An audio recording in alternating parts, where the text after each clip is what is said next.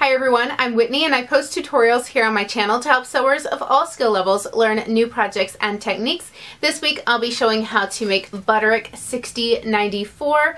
This is a Patterns by Gertie design and I'll be showing how to make view B. I already did a mock-up of this dress to make sure that the fit was right and that I understood all of the pattern's instructions. You can find the mock-up vlog linked down below in the description box. Now let's get on to this tutorial.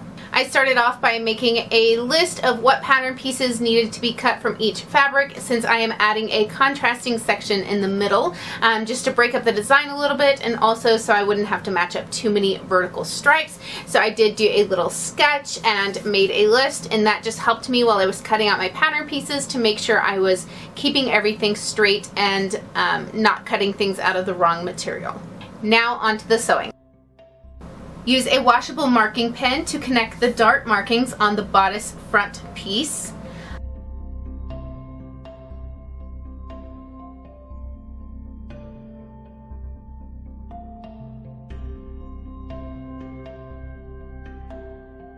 Fold right sides together so the dart markings match up.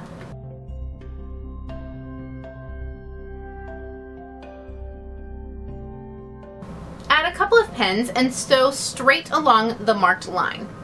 Repeat for both front darts, then trim the seam allowance and press toward the center.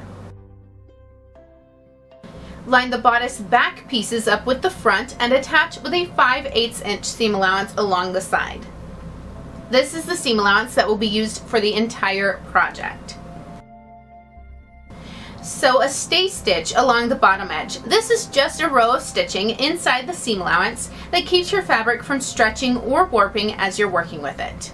Also reinforce the indented corners of the back and clip to the stitching line. Place the midriff front and back pieces right sides together, lining up the side edges. Sew to attach the three together.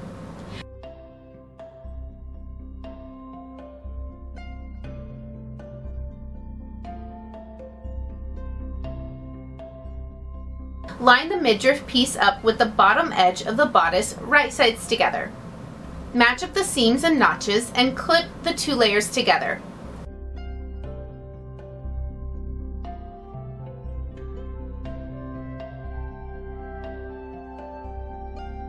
Then sew. Sew the darts on the lining and stitch the front to the backs and stay stitch along the bottom edge the same as with the outer. Now grab the facing pieces and sew the back facing to the front along the sides.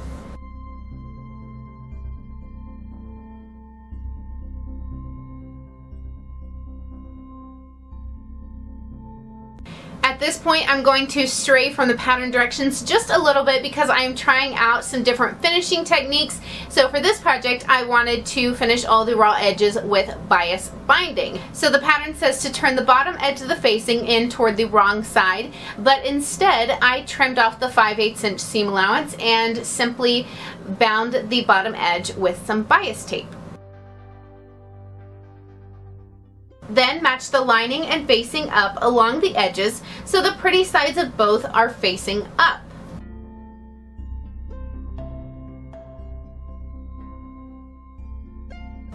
Clip together and sew along the sides and top inside the seam allowance and along the bottom edge of the facing.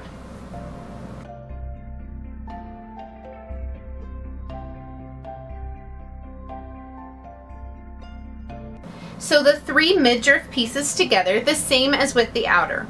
If you're following the directions, turn the bottom edge up, but I trimmed mine off and added bias binding to the raw edge.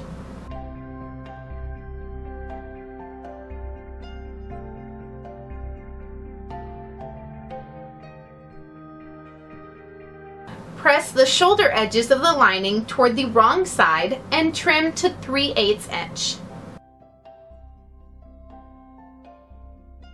Sew the midriff section to the bodice lining. You should have a bodice lining that looks like this and the outer bodice that looks like this. Lay the two bodice pieces right sides together lining up all the edges.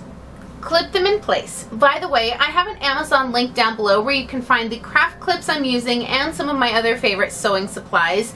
And anything purchased through that link does go to help future Whitney Sews tutorials.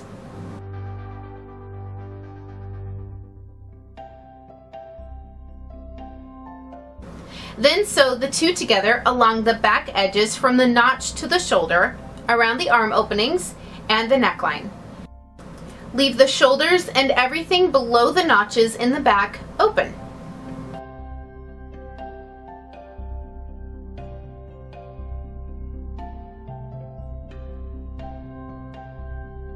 So at this point I did miss one word in the directions and that was trim. And what the pattern means is to trim the seam allowance around the neckline and the arm openings before moving on to the next step. And unfortunately, I did miss this when I was making my dress and um, I didn't catch it until it was too late and I wish I had realized earlier because it definitely is noticeable that I didn't trim the seam allowance. It's a little bit bulkier in that area so please learn from my mistake and at this point you want to trim down the seam allowance around the neckline and the arm openings.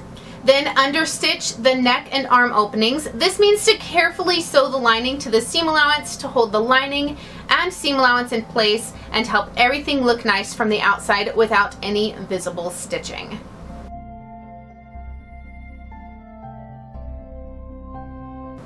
Turn the bodice right sides out and press. Line up the shoulder edges and sew across, only stitching through the outer fabrics and keeping the facings free.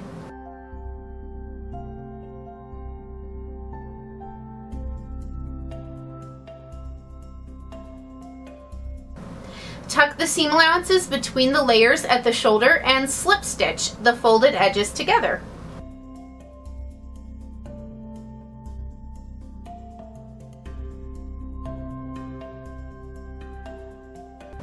It will then be nicely finished inside and outside at the shoulders.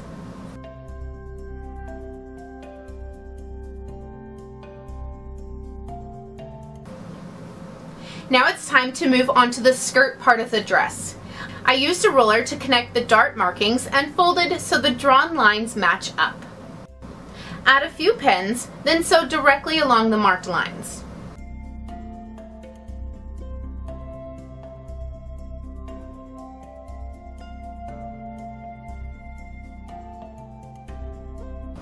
Press the darts toward the center.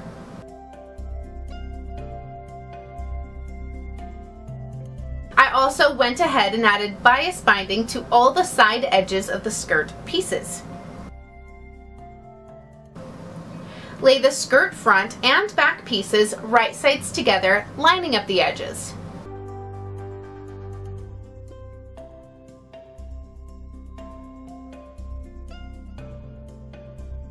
Sew up both sides. Then line up the bodice outer layer with the skirt, matching up the seams and edges. Make sure to keep the lining out of the way because we are not sewing it down in this step.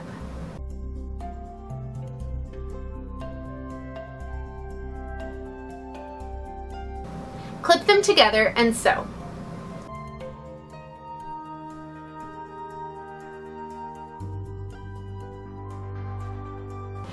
Lining still flipped up out of the way, add an invisible zipper to the back opening. I'm still really new to invisible zippers and ended up having to sew mine in twice before it looked okay. So you'll want to find a separate tutorial if you need help with yours.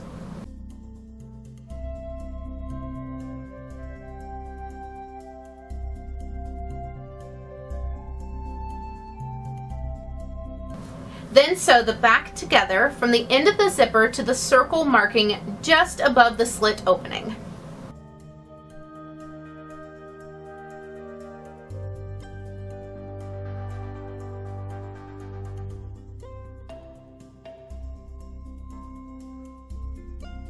Now it's time to flip the bodice lining back down. Turn it in along the edges of the zipper so the raw edges are tucked between the layers and use a slip stitch to sew it in place. Also, hand sew the bottom edge of the bodice lining to the seam allowance to hold it in place. I made sure my stitches just barely caught the edge of the seam allowance of the outer layer so none of the stitches show on the outside.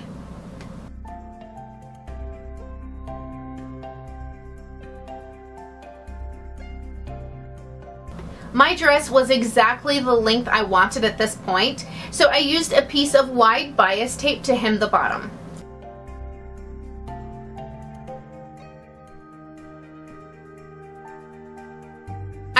Tape to the bottom edge right along the fold line. Then flipped it to the inside, pressed, and hand sewed it in place with a cross stitch, only taking a very small stitch each time so the stitches aren't noticeable from the outside.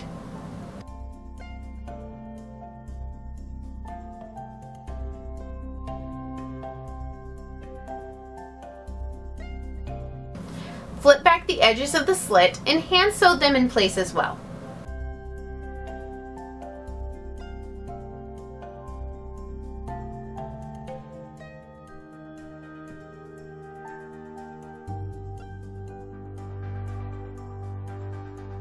Lastly, try on the dress and make sure the back facing is flipped over nicely. Pen where the buttons need to be placed and sew them on. Trust me on trying the dress on and penning the facing before sewing the buttons on. I didn't do it the first time and it didn't lay right so I had to take off the buttons and redo that part. I absolutely love how my dress turned out, even though my zipper isn't perfect and I miss trimming the seam allowances around the neck and arm openings. I still really, really like it. I wore it to church and got several compliments on it. I'm actually planning to do a vintage inspired photo shoot soon. Um, I have some plans for that and I can't wait to do the photo shoot and share the pictures. I'll be sharing some on my Facebook and my Instagram, so make sure you're following me on one of those. And if you make a dress using this pattern, I would love for you to tag me in the picture so I can see it. I have several other vintage clothing inspired videos coming up as well as lots of other types of sewing tutorials. So make sure you're subscribed by clicking my picture right down there if you haven't already so that you don't miss out on those videos. And until next time, happy sewing.